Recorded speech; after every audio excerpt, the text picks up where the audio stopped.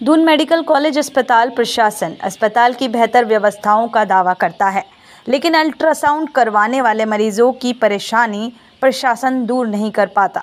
दून अस्पताल में इलाज करवाने वाले मरीजों को अल्ट्रासाउंड अगर कोई डॉक्टर लिख भी देता है तो कई दिनों में अल्ट्रासाउंड का नंबर लग पाता है। और इसके लिए सुबह तीन से चार बजे तक अस्पताल में मरीजों को पहुँचना पड़ता है। अगर गलती से आप सुबह के पाँच से छः बजे तक पहुँचे तो आपको बिना अल्ट्रासाउंड के ही वापस लौटना पड़ेगा, क्योंकि आपको नंबर नहीं मिल पाएगा। हैरान करने वाली बात यह है कि जिस अस्पताल में मैदान से लेकर पहाड़ तक दूर दूर से लोग इलाज करवाने के लिए पहुँचते हैं, जिस अस्पताल की ओपीडी डेढ़ से दो हज़ार मरीज़ रोज़ाना देखे जाते हैं। वहाँ रोज़ाना सिर्फ़ पैंतीस मरीज़ों का ही अल्ट्रासाउंड हो पाता है, जिससे बाकी मरीज़ों को खाली हाथ वापस लौटना पड़ता है। सर, हमें आए चक्रात साइड। सर, ये उसको दिखाना थी मैसेज को। हाँ जी। तो क्या दिक्कत हो गई आपको सर, डॉक्टर ने बोला जी कि अल्ट्रासाउंड करो, और जे कि पाँच दिन होंगे, और जे कि नंबर नहीं लग रहा। सुबह आए पाँच बजे, तब तक नंबर पूरा हो गया था। अब खाली जाना पड़ेगा ऐसा। पाँच दिन पाँच दिन हो गई देख लो जरा उस पाँच पाँच दिन। सोमवार को बना है। नंबर बोला पूरा हो गए और जे चले जाओ। पहुँच गए थे जम पाँच बजे के लिए। हाँ मैं निकले कल यहाँ ही रुके। अपने रिश्तेदार के घर में। पाँच बजे के लिए यहाँ पहुँचे। यहाँ तो दो दिन लग जाएगा जाने में। आज विकास नगर जाना पड़ेगा, कल घर निकलना पड़ेगा। तो अगर हो जाएगा तो प्लीज़ तो हो जाएगा तो ठीक तो ना होगा तो घर जाना पड़ेगा तो क्या करना? जी तीन बजे कौन आएगा यहाँ पे? प्राइवेट में कराना पड़ेगा और क्या करेंगे हम? अभी यहाँ पे थोड़ा ही ना हम खड़े रहेंगे।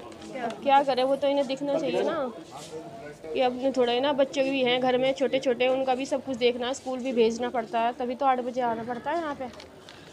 अब जल्दी जल्दी अपने घर से निकल के आए, आप फिर वापस जाओ। सौ, दो सौ रुपये किराए के फूके कल के लिए। इससे अच्छा तो हम प्राइवेट में करा लेंगे दून मेडिकल कॉलेज अस्पताल के प्राचार्य डॉक्टर आशुतोष सयाना ने जानकारी देते हुए कहा है कि अस्पताल में वर्तमान radiologist doctor SP Kudiyal ultrasound कर रहे हैं, जबकि doctor Avantika Ramola maternity leave पर चली गई है।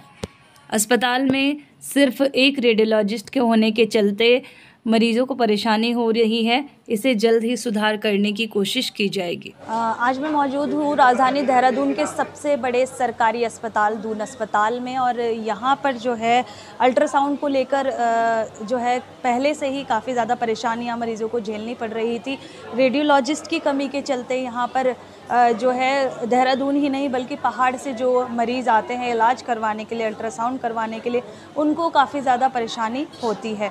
अब जैसे कि हमने देखा कि लोग जो हैं, सुबह तीन बजे से यहाँ पर पहुँच रहे हैं, सुबह तीन चार बजे पहुँच रहे हैं, उन्हीं का नंबर लग पा रहा है और जो लोग पाँच बजे पहुँच रहे हैं चार बजे पहुँच रहे हैं उनका नंबर नहीं लग पा रहा है। यानी कि अगर कोई पहाड़ से आता है कोई बहुत दूर से आता है और यहाँ पर जो है पाँच बजे भी पहुँचता है सुबह को तो भी उसका जो है नंबर नहीं लग पा रहा है।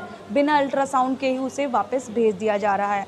तो अब इस तरह से जिस तरीके से दावे किए जाते हैं दून अस्पताल के की सारी सुविधाएँ जैसे सुपर स्पेशलिटी हॉस्पिटल बनाने की इसे बात की जा रही है तो वहीं जो है लगातार अल्ट्रासाउंड की जो आ, दिक्कत है बिना अल्ट्रासाउंड के ही मरीज़ों को वापस लौटना पड़ता है। अब देखना ये होगा कि जो अस्पताल प्रशासन है और सरकार है, इस पर किस तरह से जो है कदम उठाती है जिससे जो मरीज़ हैं वो परेशान जो है ना हो। देहरादून से मैं नाजमी लोकल एटीन के लिए।